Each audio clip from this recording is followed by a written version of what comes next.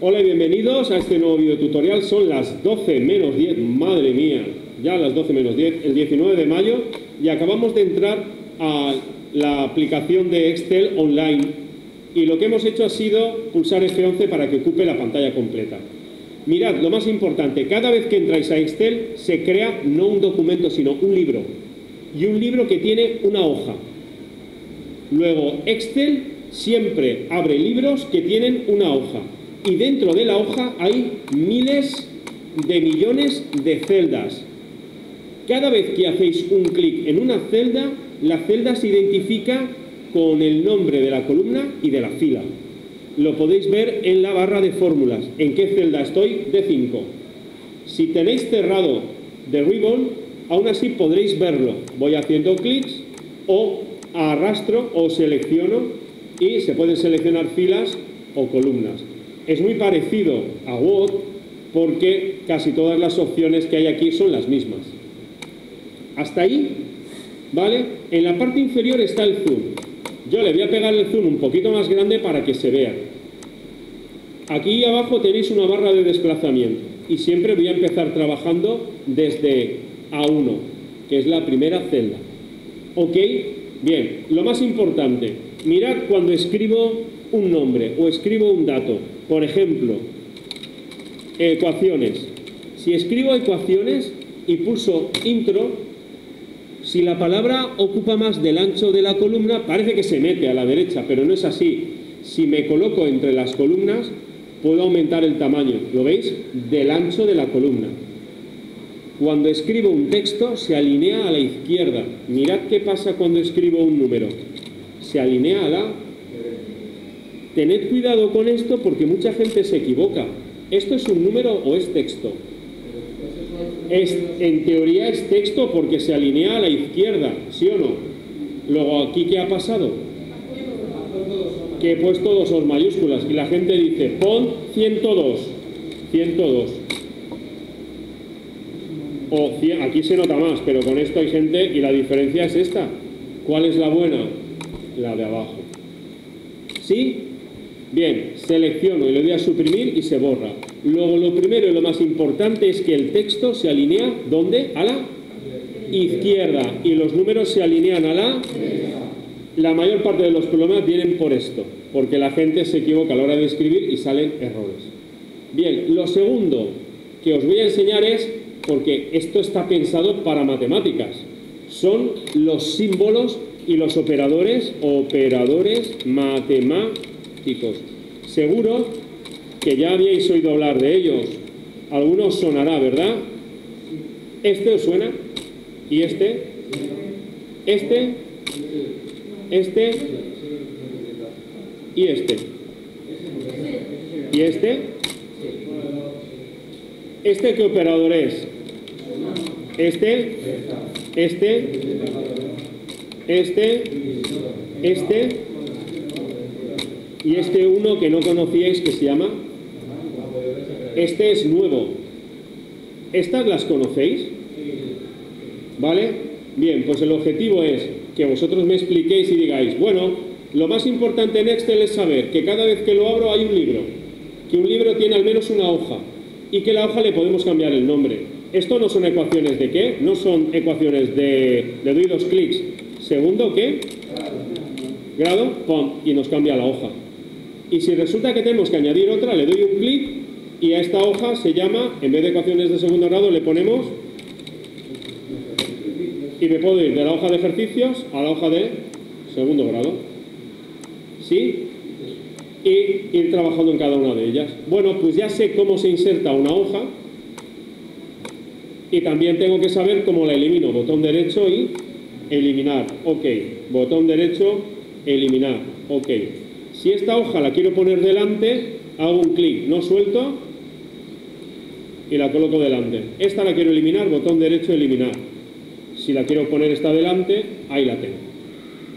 Una vez que sé trabajar con hojas y sé que un libro tiene hojas, tenéis que explicar que cada hoja tiene celdas y que las celdas se identifican con el nombre de la columna y la fila. Por ejemplo, la cantidad 100, ¿en qué celda está? En la B4, ¿sí? Y la cantidad 1200,78. En la B5. Y ahora fijaros lo que voy a hacer. Ya que sé que se alinea a la derecha e izquierda, borro. Y voy a hacer estas operaciones. Voy a hacer una suma. A ver si sois capaces de hacerlo conmigo. Lo vamos a hacer de dos maneras. Vamos a hacer la suma de forma manual y vamos a hacerla de forma referencial. Mirad que es muy sencillo y este es el, solo es el vídeo que me tenéis que hacer. De forma manual. Si os pido que me suméis 2 más 2, sabéis que da 4, ¿no? Bien, la potencia de Excel radica en esto que vamos a ver. Cuando queréis poner una fórmula, todo empieza con un 2 más 2 queda intro. Hago un clic, pulso F2 y tenéis la fórmula. Entro, hago un clic, pulso F2. O doy dos clics. O hago un clic y me voy arriba, ¿veis que lo pone ahí? Y lo veo.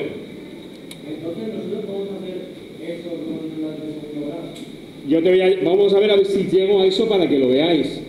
Si entendéis esto, no hay ningún problema. Pero mirad ahora.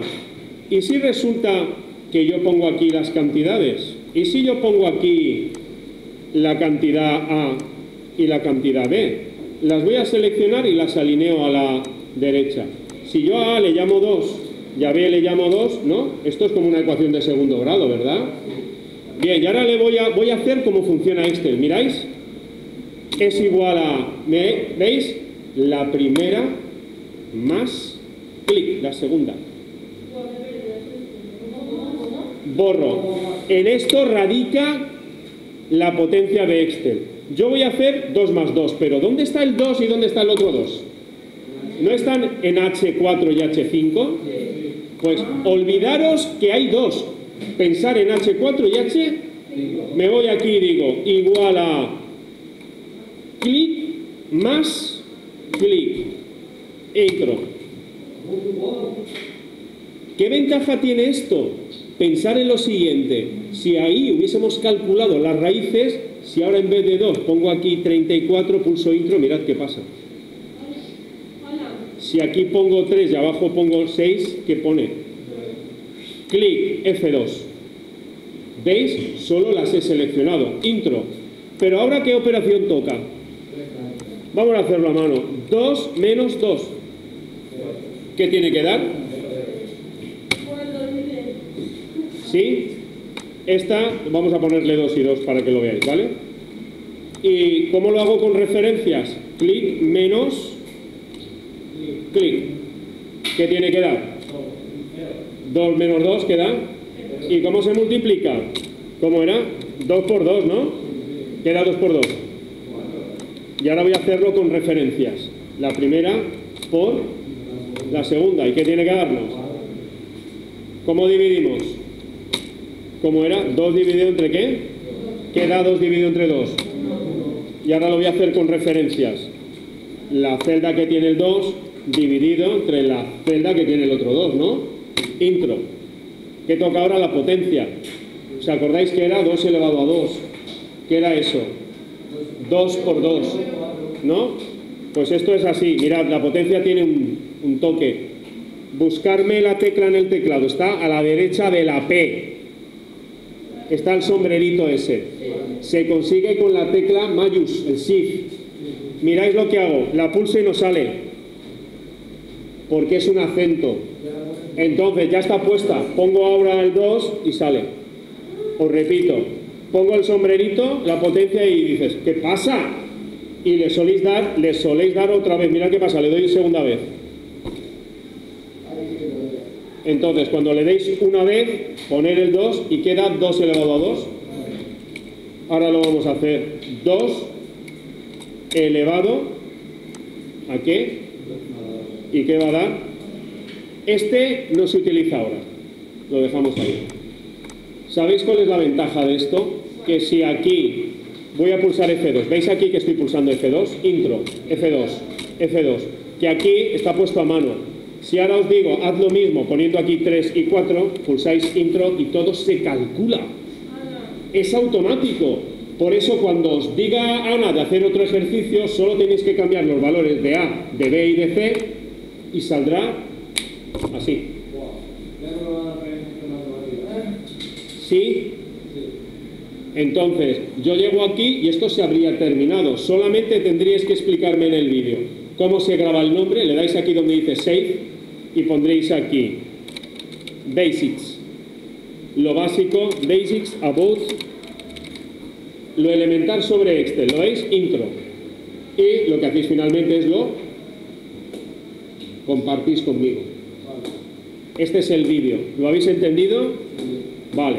Ahora, lo que voy a hacer con esto es, ya que me habéis pedido, o ya que me estáis diciendo que tenéis una ecuación de segundo grado, voy aquí, voy a parar el vídeo